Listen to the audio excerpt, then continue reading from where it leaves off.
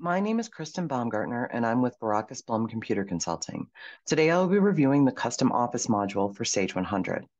Vrakas Blum Computer Consulting has been selling and implementing Sage products for over 30 years and is one of the top Sage 100 solution providers in the country. We are dedicated to helping our clients continuously improve and have industry expertise that comes from years of experience and real-world knowledge. In today's presentation, I'll be reviewing what the Sage 100 Custom Office module is used for, the main data housed within the module, and also look at some of the options to make panel changes to your Sage 100 install. Custom Office is primarily used for access to the customizer selection to modify Sage 100 panels, user-defined field and table maintenance, and user-defined script maintenance. Custom Office reports can also be found here. Custom Office is a core module within Sage 100, and all customers have access to this module. Often, customers will use this module if there's data that needs to be recorded in Sage 100 that does not have an existing field, or to make data entry tasks more efficient for users. Let's take a look at what Sage 100's Custom Office looks like. In my environment, on my left-hand side are the modules that I have access to based on my security permissions. At the bottom of this list is our custom office module. Now, as I mentioned, this is a core module and it has many Sage capabilities. Since this is an overview of this module, we're going to cover some of the basic changes that can be made with custom office. We're going to start off with our user-defined field and table maintenance. When I launch this task, I am able to see all of the Sage modules that I currently have in my environment. If I were to go to a particular module and double click on it, I can see all of the existing tables where a user defined field or an additional table could be added. If I want to close this, I can double click again. When I right click on the same module, this is how I would be able to add a user defined table. Today, we're going to be focusing on just the user defined field, so a single field as opposed to a table. I am going to go down into this last folder, which is called Recents. This will show me all of my recent user-defined fields that have been modified or added to my environment. So I'm going to jump into my sales order header. This is the table that's been modified most recently. When I double click, I get an option to edit my fields. In looking at this information, I'm able to see all of my user-defined fields that are set up for this particular table.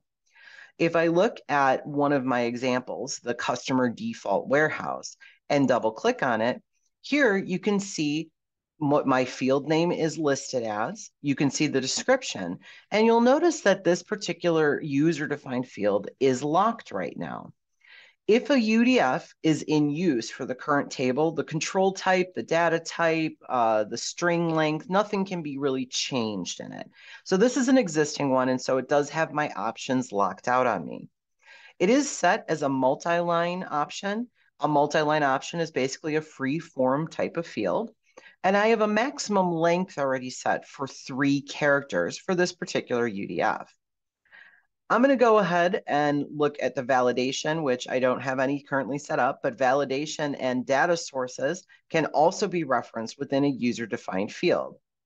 Because this one's locked, we're going to create a brand new UDF that we can kind of see how what an open table would look like.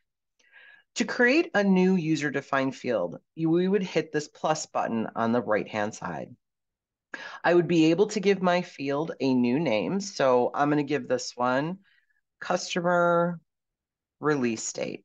Maybe this is a piece of information that I want to record. It's going to be for my sales orders, but it's not a field that I currently have access to in Sage. I'm able to give the field a description. So again, maybe I want to change that to actually read date in my description. And I can choose if I want to manually enter this information or if I'm leveraging a current Sage business object for this information. We're going to go with the manual entry because we are just setting up a simplified UDF for our presentation today. Once I've clicked OK, you can see we are looking at the same screen, but now we're unlocked. We can choose, we can make those choices here as we set up. Here, I can choose to, again, have that multi-line, which is a free form field. I can use a drop box option. I can do a list box. I can have a checkbox. Here, I can say, you know what, my data type might not be a string where it's a free form piece of information. Maybe because this is my customer release date, I actually want to be able to leverage a date here. You can see by changing the options that we choose, we're going to have different options down here that are enabled for us. So again, if I go back to string, you can see I'm uh, getting my display attributes to show. If I go into numeric, it will give me a, a default for my numeric setup. And again, I'm going to choose that date option because it's a customer release date. Again, if I choose to and I and I have the experience, I can add validation and data sources to a UDF if it makes sense here. Because we're doing this kind of as a manual entry, this is just going to be a field, but we're going to use a date data type.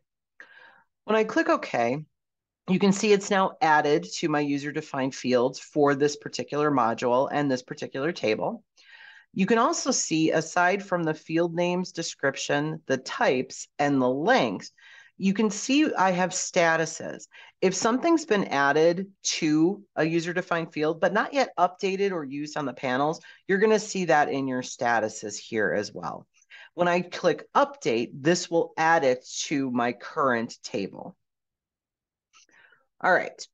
So one thing that is extremely important is when a user-defined field is created, it can be very important to map it to other panels. As an example here, I'm going to go ahead and say close anyway. We're going to keep that one pending, and you can see it's showing as pending down at the bottom. As an example, if we did add a user-defined field to a sales order, that user-defined field might have to go through a couple other documents. We, maybe we do want that to translate to our sales order history.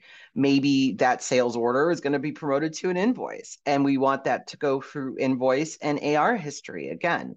What we can do is have those fields mapped to move forward depending on how we set up the user defined field. So for an example here, if I go to my sales order history, when I look at those user defined fields, and I have not updated that last one I just added, you can see those three UDFs are populating here because I do want them to promote all the way through sales order entry, all the way through to sales order history. So this is, again has been focused on adding a brand new field that maybe we don't have in Sage, and we want to do that as a user-defined field, something that we can enter information in. I'm going to close this out for a second, and we're going to talk about our user-defined script maintenance. Now, user-defined script maintenance is used to create, assign, and, comp and compile scripts for table, column, and panel events. The creation of the script is a more complicated process than creating a user defined field. And the tables can be more complicated, especially if we have third party solutions and software in place in our Sage 100 system. User defined scripts can automate a process, and usually that process is always going to require the same information. And what's cool is a single script can be tied to multiple events. So, for an example, a script could be written to enforce a particular validation for an item code, which then you could attach that script to the item code column in your sales order entry, uh, in your invoice data entry, and in transaction entry. So again, a single script can affect multiple tasks within the Sage 100 environment. Scripting, because it is a very complex process, we do recommend working with a Vrakas Blum Computer Consulting team member if scripts are needed or you think you might need them in your Sage 100 environment. One of the other tasks in Custom Office is our customizer selection. When I launch this task, this again shows me all of the different panels that I have access to in my Sage 100 environment. So in this example, perhaps we want to modify something on our customer maintenance when we go into accounts receivable we can see, okay, these are the breakdowns I have. Um, again, I want to modify something on customer maintenance. This can be very difficult to find now the correct panel that we're looking to modify. So before we were looking at user-defined fields to add into our environment, now we're talking about actually modifying the way our tasks and panels display. you would need to be slightly familiar with the Sage tables to be able to know that what we're actually looking for is our P main, main folder, if we wanted to make a change to the customer maintenance main tab. This can be difficult or a little difficult to negotiate, but there is another way that we can get to a panel within Sage 100. I'm going to close our customizer selection and instead go directly to that AR module go to the panel that I want to take a look at, which is our customer maintenance. And again, on my header tab, what I'm looking for is a little bit of white space. I'm hoping that you can see below this line, I have a little track of white space here. When I right click in that area, I get a pop-up menu and I'm going to be looking at my panel settings and my customizer. This is the same thing we were just looking at, but instead of opening customizer and determining the panel, I go directly to the panel I want to make the changes to and then launch the customizer. Some customers do find that this is a little bit easier to make sure that we're making changes in the right places. So in my customizer panel selection, you can see that I have some existing changes already in place. I do want to point out that these panel changes can be specific to a user. They can be applied to all users. They can be also made specific to our companies, or we can apply them to all of our companies. Checking this option allows us to create a brand new custom panel from scratch or create new information on the existing panel, I should say. This allows us to modify an already existing customized panel. So for our purposes, we're going to go in and look at one that might already be modified. So let's take a peek at our ABC company one. When we launch Customizer, it is showing me again that P main, that's what I was looking for. So we know we're in the right place and I'm able to see everything that's going on, whether fields are hidden or not hidden. I have user defined fields on this. Anything that's currently existing, I'm able to see in this view. It looks very similar to what I'm looking at in my customer AR header level. But again, there might be information that's missing. For example, credit limit here actually didn't show when I pulled up my, my customer maintenance. If I click on this field and I'm going to double click, this credit limit field, if I go to my options, is actually a hidden field. In my example, my particular organization did not ever need to look at this field. And to make it easier for my admins to process data and data entry, I hid it so they would not have to worry about looking at it and worry about if they had to enter that information. I do want to point out that with the fields that are existing in Sage, I am able to change height. I'm able to change reposition and reposition them. I can choose the anchoring. I can also choose to make changes when it comes to how the text is actually displaying. So I'm going to choose a different field to show how this works. I'm going to go to URL address. I've got some people that actually don't know what URL means. So I'm going to make it easier for them. And I'm actually going to change the text to say, what is the website? Because I'm making this change, perhaps I want to make it bold. And you can see I'm getting a preview down at the bottom here. Perhaps because it's a change, I want to make it even bolder than that. And I'm going to highlight it in red. I can choose a background color also. I can choose the justification. And again, in those option tabs, uh, here's my property to hide this particular field and also change that position and size. I am going to keep it where it currently exists. So I'm going to go ahead and say okay to that change. Now we can see it on the panel. I have not completely saved this and updated it yet, but this is giving me an example of what we're going to be seeing here. Now, I also want to show that we can um, we can also move and drag and drop fields. So again, not to say that it's going to be extremely helpful, but we can just take a field and we can move. Maybe I need that state and Providence field up a little bit closer to the top. Fields can be moved within this panel as well. We can also make changes to the tab stops. Now, for anybody that does a lot of data entry, you know that using tabbing is very common to make sure that we're going through forms completely and not skipping any fields.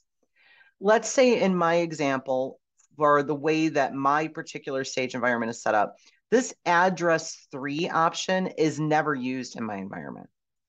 When I double click on this, I can choose, again, because I'm, I'm in a main Sage definition, it does tell me my initial value if I want to link a hotkey to it. But here under options, I do want to show you, it is set to tab stop, which means when I enter in this, this company information, I have to stop in address three. If this is not something that I ever use, I can choose to disable that tab stop so it's skipped over. I can choose to hide the field, I can disable it. Again, there's a lot of ways that you can manipulate the data for your your admins for your data entry so that they're able to do their job as quickly and efficiently as possible. I'm going to accept that change one of the other things I want to show you is it is possible to add new text. So if I wanted to add, I just clicked on that text box over to the side here. I can sketch out the size of the text, the text box and put in here whatever text I would like. Um, again, maybe it's just something as simple as an update and I want to make that bold. Maybe I want to put it in italics. I can add that field within my panel. This is not a data entry field. This would just be a text update. If we did want to house data entry, we could choose to add one of those user-defined fields. So here, clicking on this grid, I am now able to look at a list of my current user defines. I sketch out where I want that particular information to be placed on the panel. And you can see that UDF for our customer default warehouse we first looked at is one of the selections that I can add to this panel. You can see it is showing up. It's giving me the information and the description that I associated with that particular user defined field. And remember, we did set this one up so we have a maximum of three characters that we can enter into this. So again, want to just recap. We've hidden credit limit. We've also hidden the credit limit check uh, in text box that houses information. We've changed our URL to website. We've added some additional text. We've added, added a user-defined field, and we've also taken away that address uh, third line tab stop. When I close this panel, it will ask me if I would like to save my panel customizations, and I would say yes. I do get pushed back to my main panel. I'm going to close this out. And now when I relaunch my customer maintenance, we'll be able to see those changes. So I'm going to enter a new customer. I do want to show you, I'm using tabbing, so I would have to give my customer a name. I, again, am going to address one, address two, and there's the skip on address three. We can see that those additional credit limit fields are hidden now. Our website has been updated from URL. We now have the customer default warehouse. Remember, that is an uh, that's an example of where we have our three character limit. I'm able to enter only three characters in this field. It is a freeform field from the way we set it up. And here is that update, maybe that special messaging I want to keep on this customer or any addition, actually this would be all customers that use this panel. These are just some examples of changes that can be made to your Sage environment and your panels. Again, these changes can be based on user, they can be company wide, and they really can make again terminology something where everybody understands what you're looking for changes additional information anything that you want to capture within your sage environment can now be added as well and I do want to point out that going back into custom office, the other component that can be very important to customers is in your reports. You do have the ability to have access to a customizer summary report and a detailed report. This will tell you all of the information that is currently in your Sage environment that is currently customized. So you may have had users in your system that have been making customizations before you yourself might have been there.